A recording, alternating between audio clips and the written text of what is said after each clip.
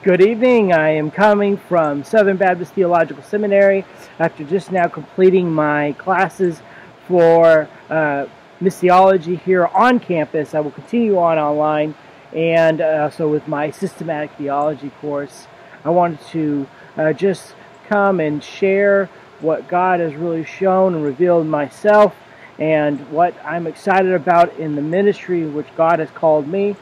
And that is exactly what I wanted to share here tonight, which is that undoubtedly, without question, the Lord has called me and to become a pastor and to also teach uh, theology and to help grow up the next generation in the defense and the growth and the preservation of our Lord and Savior and His mighty church. Uh, we are here to share the gospel of our Lord Jesus Christ.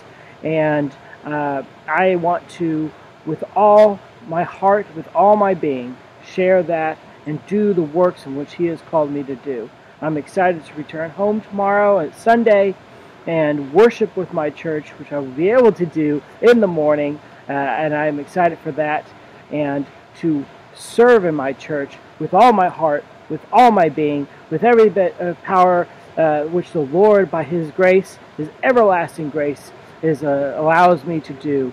Um, I hope to become a deacon. I hope to uh, be a helpmate in, in every which way for my church in the service in terms of assistance in the teaching of the Sunday schools and whatever else the Lord continues to allow me to do and assisting our wonderful pastor.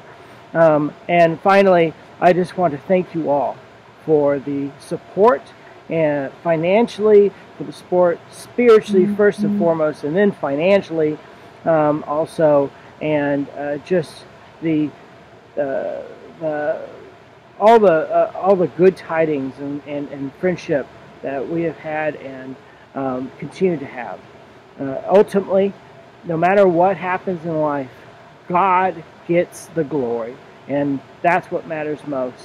So I cannot wait to share with you all and to continue to do the blogs again, but also uh, grow the ministry uh, here on All Things Veritas and elsewhere as we continue to grow and do things. So I want to finish with a word and a prayer, and we will close this for the night as I prepare to leave tomorrow morning. I got to get up at 3 a.m., uh, get to the airport by 4, get my car in, which I rented, and I will be flying out, out about 6 o'clock, and I will make it to home by 10:18. So now let me read a word and a prayer, and we will close for here. Uh, Psalms 1 always a good way to end out here. It says, Blessed is the man who walks not in the counsel of the wicked, nor stands in the way of sinners, nor sits in the seat of scoffers. But his delight is in the law of the Lord. On his law he meditates day and night. He is like a tree planted by the streams of water that yields its fruit in its season, and its leaf does not wither. In all he does, he prospers. The wicked are not so, but are like chaff that the wind drives away. Therefore the wicked will not stand in the judgment, nor sinners in the congregation of the righteous. For the Lord knows the way of the righteous, but the way of the wicked will perish. Holy Father, God our Lord, Jesus Christ, I pray for all that we do and all that we say and all that we live, that it glorifies you, and that we walk not in the way of the wicked, but in the way of the righteous, and uphold you and glorify you throughout the earth. In your name we pray. Jesus Christ, our Savior. Amen. I thank you all, friends. I'm excited about what God is doing in the ministry and pushing me and encouraging me.